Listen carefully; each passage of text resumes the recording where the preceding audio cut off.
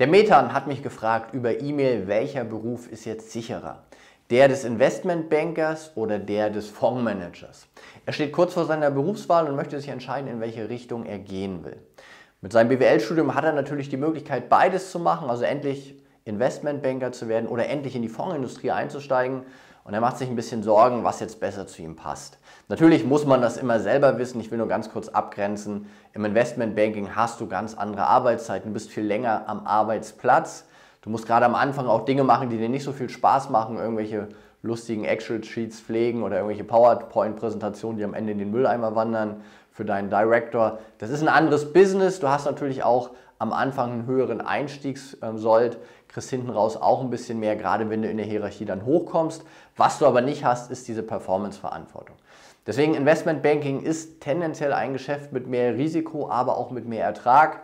Teilweise, wenn das Geschäft nicht gut läuft, gerade eben wenn du über MA oder Transaction Banking nachdenkst, momentan in der aktuellen Phase, wo ja sehr wenig passiert aufgrund der Pandemie, ist es natürlich so, dass du in diesem Bereich eher riskanter unterwegs bist, weil du vielleicht die Probezeit gar nicht überstehst, auch wenn du gute Arbeiten machst. Und da musst du auch damit rechnen, dass du 14, 15, 16 Stunden an schlechten Tagen mal arbeiten musst oder auch am Wochenende ins Büro kommst. Im Fondsmanagement, das kann ich aus meiner Erfahrung sagen, ist es anders. Da hast du keine 16-Stunden-Tage, sondern da hast du am Ende 9 to 5 vielleicht ein bisschen mehr, also ein, zwei Stunden mehr, aber auch mit einer Mittagspause. Und du hast auch nicht diesen latenten Druck, dass du permanent jede Minute rausgeschmissen werden kannst, sondern da ist das Hauptproblem, deinem Arbeitgeber geht es gut, wenn die Assets nach oben gehen. Also wenn Geld in die Fonds investiert wird, dann wirst du eben da auch Karriere machen, langsam, stetig, nach und nach. Ein bisschen Glück und Pech ist auch dabei, ganz egal, wie gut deine Performance ist. Aber es ist deutlich weniger Risiko als im Investmentbanking, wo schon eine Hire-and-Fire-Kultur ist wo es eine Up- und Out-Kultur gibt. Also wenn du da nicht extrem stark leistest, dann kommst du auch nicht voran. Wenn du im Asset Management mal zwei, drei Jahre mit einer durchschnittlichen oder einer schlechten Performance hast, gerade am Anfang, naja, dann kriegst du nicht so viele Gelder, die du verwalten darfst, musst vielleicht mehr Analystentätigkeiten machen, aber das ist am Ende auch noch okay. Was da relativ riskant sein kann, wenn die Märkte deutlich fallen. Also wenn wirklich der DAX sich halbiert und die Anleihenmärkte auch mal kollabieren, dann gehen die Assets raus aus deiner Gesellschaft und dann kommen die berüchtigten Kosteneinsparprogramme. Naja, und dann ist auch der Beruf des Fondsmanagers irgendwo riskant. Also Methan, kurze Frage oder kurze Antwort auf deine kurze Frage. Wo ist mehr Risiko im Investmentbanking oder im Fondsmanagement? In deiner Karrierewahl ganz, ganz klar im Investmentbanking. Würde ich dir mit meiner Erfahrung raten, unbedingt als Fondsmanager einzusteigen? Kommt ein bisschen darauf an, wie sehr du die Kapitalmärkte liebst.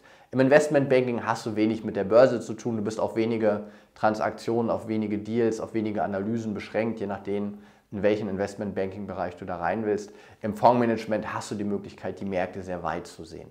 Wenn jemand bist, der sehr schnell Karriere machen will, der auch sich richtig reinhängen will, mach bitte erstmal zwei, drei Jahre Investmentbanking und damit kannst du immer auch noch gut Fondsmanager werden, gerade wenn du den praktischen Bezug zu den Märkten hast.